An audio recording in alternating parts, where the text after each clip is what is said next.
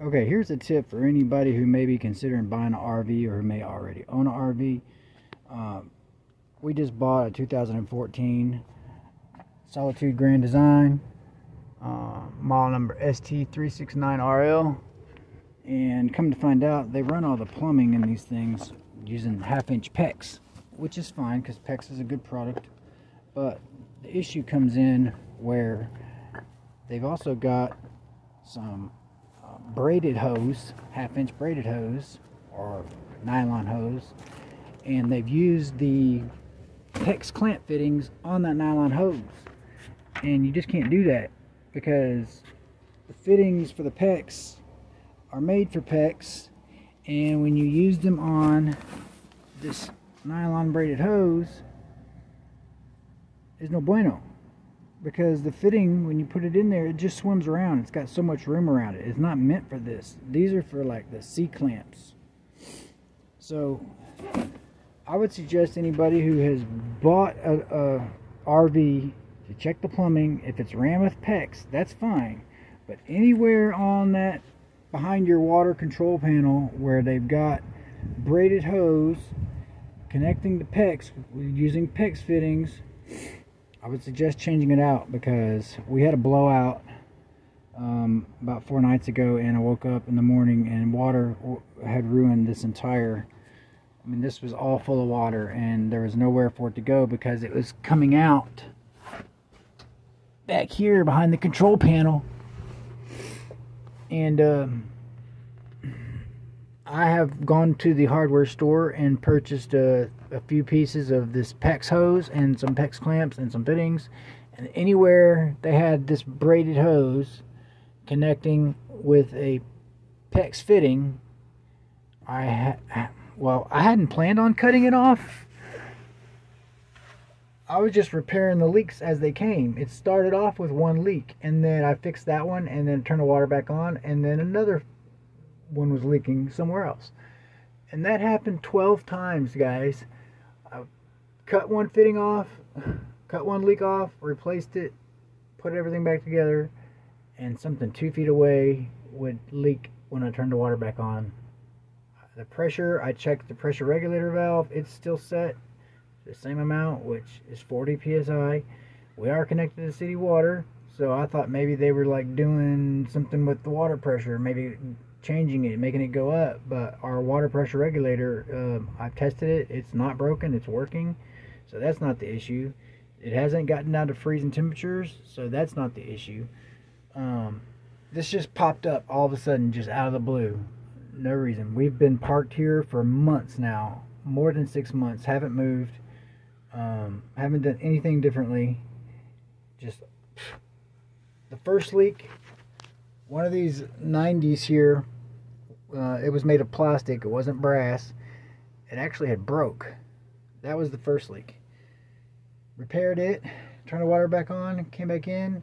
All this white PEX where you see it was actually this braided hose. So I've replaced all that white pipe that you see going all the way over to the water heater. And there's still some more of it. Example here's a perfect example where they've got um, right here. The blue PEX cold water connection is fine. There's a PEX fitting there, but connecting it to this braided hose with that PEX clamp is not, I do not recommend doing that. Here's another one. So that is the way they do it when they manufacture these things, and they need to change their fucking they seriously need to change their build model because that's crap. I even went out after. Uh, I've got everything replaced. I just got home from work and I haven't put this cover back on because I decided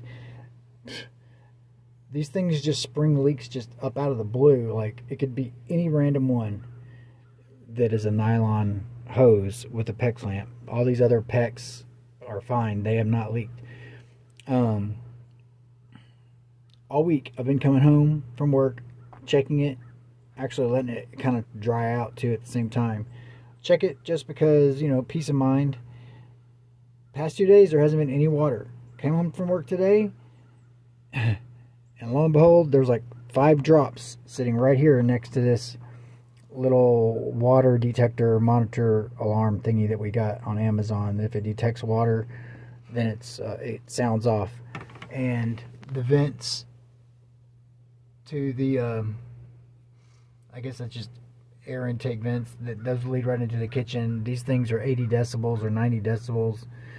Um, we'll hear them in there in the in the kitchen or in the living room if water touches these any of these little three metal feet on the bottom and they work i tested it set it down on a paper towel and let some water drip on the paper towel one drip at a time. And when the water finally seeped over to one of those little metal legs that thing sounded off. So they work great. Um, there's two of them in here. I put them in the low spots. But i just got home from work and i decided to check it. I was going to put the panel back on. And uh, i looked down and there was three drops sitting right on top of this thing. It hadn't gone off because water has to touch one of those three little metal feet at the bottom. So, literally sitting right underneath where the thing was leaking. Matter of fact, it was this one right here. It was leaking that leads out to the uh, water filter. So yeah, guys, that's a major problem. I wish, uh, I think I'm actually going to get on Facebook Grand Design Forum and make a comment about that um, because that seriously, I mean, yeah, this is a 2014, so it's not a new RV or anything. But um, if they're still doing that with the new models, anybody buying these things, oh man, I'm a first time RV buyer, so I know now. This is only supposed to be a temporary thing, so hopefully in a year we'll be out of this thing. But from now on in the future, if I ever decide to buy another RV, the first thing I will do, I swear to God, the first thing I will do will be inspect that water control um, closet behind it. And if I see any braided nylon hose connected to PEX, just from the get-go, I would cut it off and replace it. Because like I said, we've been here for six months or longer without any kind of issue. And wake up one morning and uh, water was literally going halfway down to the pond down there and this is 10 acres so um, it wasn't just no little small leak so yeah another one repaired today number like fifth fucking team. um, this is just some of the braided hose that I've cut off this week gone through two whole bags of PEX clamps I've gone through a whole bag of 90s three pieces of pipe, which I think are four feet four feet each, and that's all I've got left. Um, so yeah, I will be going back to the hardware store, buying another piece of PEX and some more clamps. And uh, it's good just to have that stuff on hand because you never know when you may have another leak or something may happen. So guys, anybody, any kind of RV, it's not just the Grand Designs, anything that's got that type of hose with PEX, I would highly suggest you check it and check it, inspect it, and change it. So, hope this video was helpful. I'm getting this place put together, guys. Peace out.